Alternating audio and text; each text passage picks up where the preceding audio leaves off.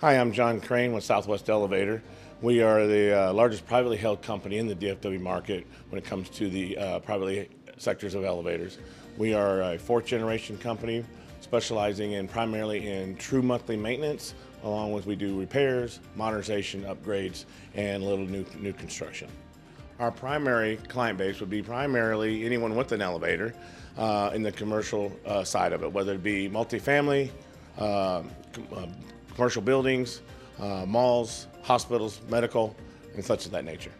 It's been very complimentary to be able to honor and speak at the in, at these events and sponsor them for mostly because it gives us our chance to explain who we are and how we stand out in the market of, of our industry. But at the same time, get to be able to uh, speak with our clients that are, are able to come and promote them to help Jeff and on our safety side of it, and not only for the buildings but also for the elevator side.